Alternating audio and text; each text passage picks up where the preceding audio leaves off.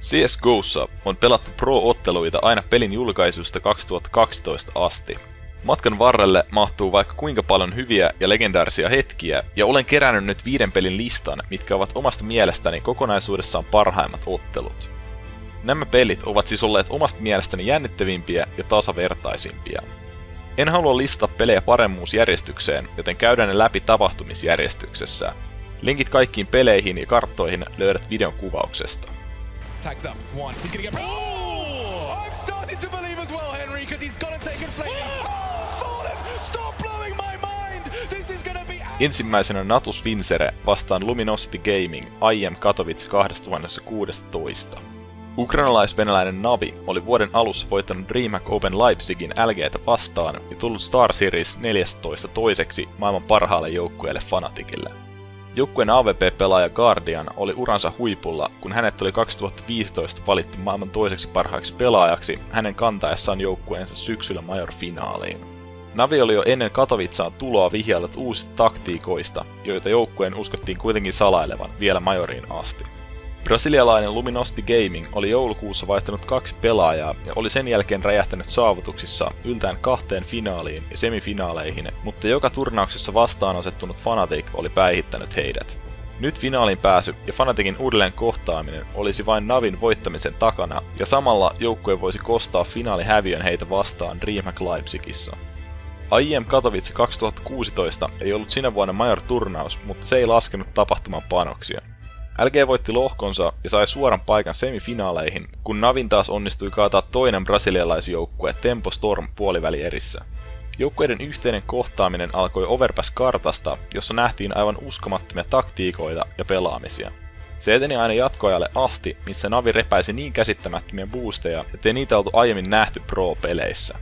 Toinen kartta Inferno ei ollut niin ihmeellinen enää ensimmäisen kartan jälkeen, mutta Overpass nostatti koko ottelun historian kirjoihin. Kannattaa siis vähintään katsoa Overpass-kartta alusta loppuun.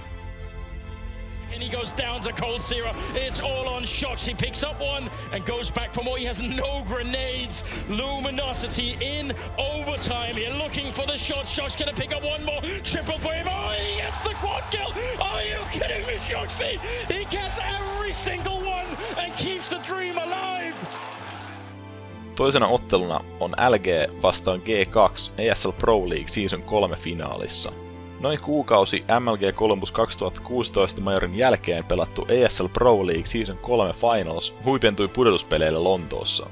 Luminosity Gaming oli juuri voittanut majorin ja lähti turnaukseen maailman parhaana joukkueena. He olivat siinä välissä kuitenkin pudonneet edellisen turnauksen DreamHack Masters Malmon lohkoissa, eli oli vaikea sanoa, millä tasolla joukkue nähtäisiin Englannissa ja olivatko he ottaneet kuinka tosissaan Ruotsissa majorin jälkeen. Ranskalainen G2 Esports ei päässyt pudotuspeleihin majoreissa ja vaihtoi sen jälkeen pelinsäisen johtajansa Existence pois ja otti tilalle nuoren tukipelaajan Budin. G2 supertähti Shox siirtyi pelinsäisen johtajan rooliin, ja tämä muokkasi joukkueen pelityylin täysin uusiksi, pelaajien luottaessa Shoxin ja Screamin osumiseen enemmän kuin tiukkoihin taktiikoihin. Molemmat joukkueet ylsivät jatkoon tiukkojen semifinaalien jälkeen ja pistivät kaiken peliin paras viidestä kartasta finaalissa. Ottelussa pelattiin kaikki viisi karttaa, kun tuntui, että joukkueet olivat liiankin tasaisia ja viimeinenkin kartta eteni kaiken lisäksi jatkoajalle. Ottelussa nähtiin aivan käsittämättömiä yksilösuorituksia Shocksilta ja Screamiltä sekä Major MVPltä Cold Zeralta. Pelin kokonaispituus oli lopulta yli viisi tuntia, joten ymmärrän hyvin, jos kaikkia karttoja ei jaksa katsoa, mutta parhaat palat kannattaa ainakin ehdottomasti käydä läpi.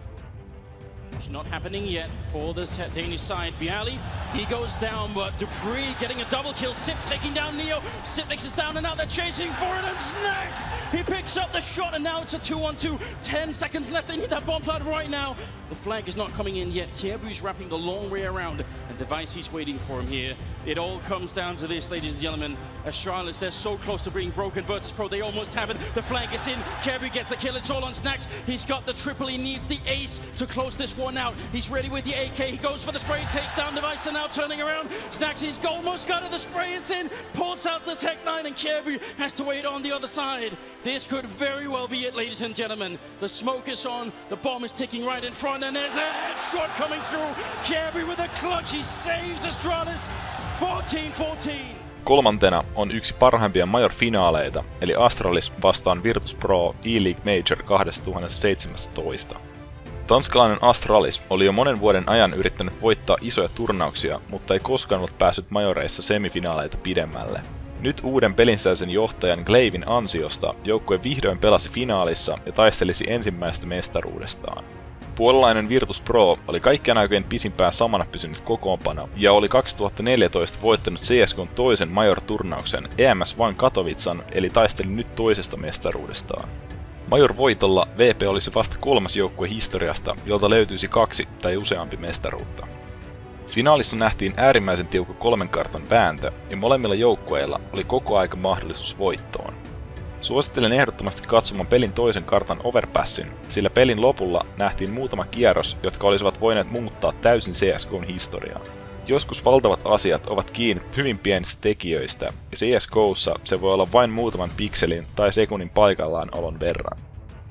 28 seconds now, and Olaf Meister might try to pull rotation. He's the only man on Banana. Rush with an off angle, looking towards the uh, position. The Molotov comes in, but so does the rotation. Olaf Meister, though, has been taken out towards the B bomb site.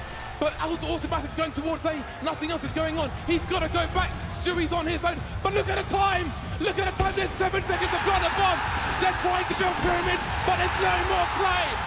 Stewie's oh! running around. We're going to overtime.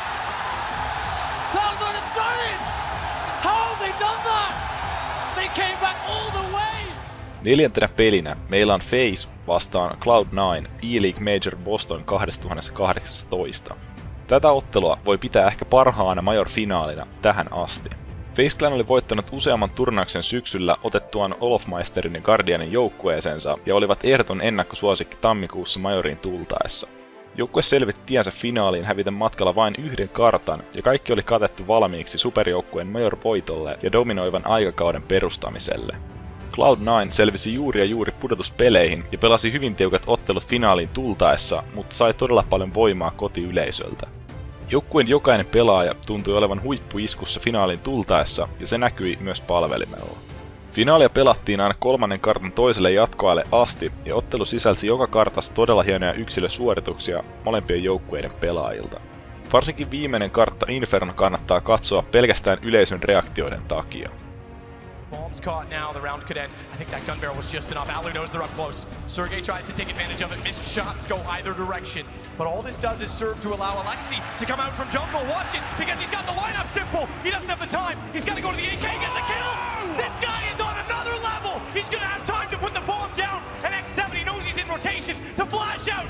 He's got the information. He's got just enough. He goes back to the AWP. But is that what's going to Ja viimeisenä meillä on Natus Vincere vastaan Ense IM Katowice 2019 Majorissa.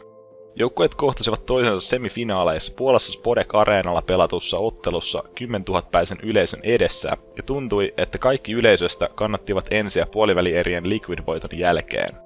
Ensi raivasi tiensä pudotuspeleihin vaikeimman kautta selkä seinää vasten tilanteesta ollessaan 0-2 otteluissa ja puolivälierin selviydyttyään vastaan asettui maailman toiseksi paras joukkue Team Liquid, joka oli juuri voittanut majoria edeltäneen turnauksen.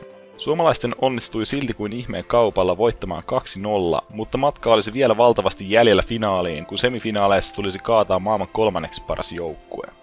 Navi pelasi syksyllä Faceit London Majorin finaaleissa Astralista vastaan ja haki koston paikkaa Katowitsasta. Simple pelasi aivan jumalattomalla tasolla ja oli valmis tekemään kaikkensa päästäkseen kolmannen kerran Major-finaaleihin ja voittaen vihdoin maailman isoimman turnauksen.